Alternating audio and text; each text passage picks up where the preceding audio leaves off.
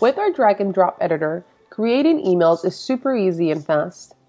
Let's get started. From your dashboard, click on emails and then select the emails option. Now go ahead and click on create a new email. For this example, we're going to use the regular email option. In the next screen, you'll see the different editor options that we offer, such as the code editor, which lets you add your own HTML, and also a plain text editor. But the most frequently used one is our drag and drop editor. Go ahead and select this option and click next. Give your email a name. This is how you will be able to recognize your emails in Benchmark. This email name will only be seen by you and not your contacts. In the next page, you'll have your email checklist. Fill in the email checklist with who you're sending your email contacts to by selecting one or more of your contact lists. If you haven't uploaded contacts yet, don't worry. Click on the dropdown and select Create New List and give it a name. You can add contacts at a later time. Add your from name and email address, and if you need a different reply email, you can select it here. You can have multiple sending email addresses. Add your subject line. Make sure it is interesting and engaging. Reinforce your subject line and increase your email's chances of being opened by writing a compelling preview text. This provides a short description that will be seen in your recipient's inbox. Link tracking and sharing is also available here.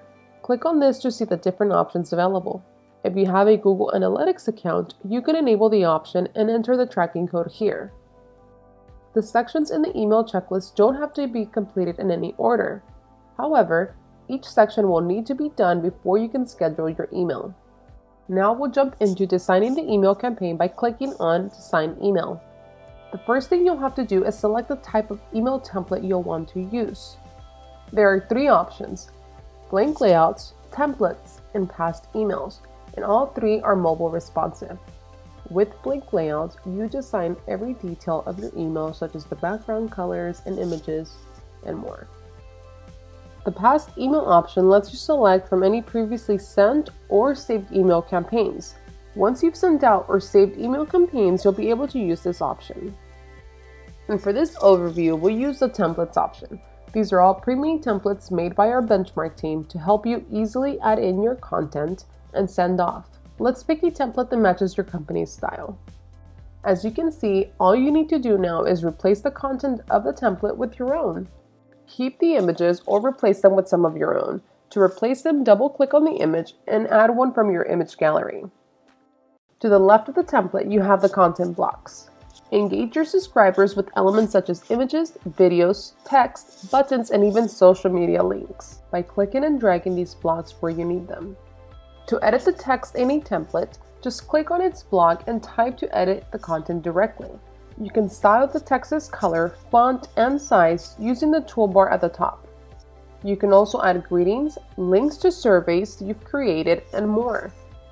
Every section in the template can be rearranged by simply clicking on it and dragging it to its new position, like this. Every email has a permission reminder block that includes a web page version link of your email and a permission reminder. Opting to include a web page version of your email will ensure it can always be viewed as intended. The permission reminder lets your recipients resubscribe to your list and helps you collect double opt in contacts. Last but not least, you can add or remove the pre existing links in the footer of your email. When you are done editing your email, you can see how it will look in your recipient's inbox by clicking Preview. The preview option lets you see how your email will look both in a desktop and a mobile device. You can also send yourself a test email by using the option Send Test Email. When you are satisfied with the look and content of your email, click on the Save and Next option. This will bring you back to your email checklist. If all of the sections are complete, you can send your email immediately, or you can schedule it for another day. If you're not ready to send or schedule your email, then go back to the email dashboard and create another email. One more thing before I let you go. As you can see, my email was saved as a draft in the list of emails in the dashboard. I can always go back and edit any of the sections in the email checklist. If you haven't already signed up for a free account, sign up today and see why our customers love the simplicity of our drag and drop editor. Thank you for watching.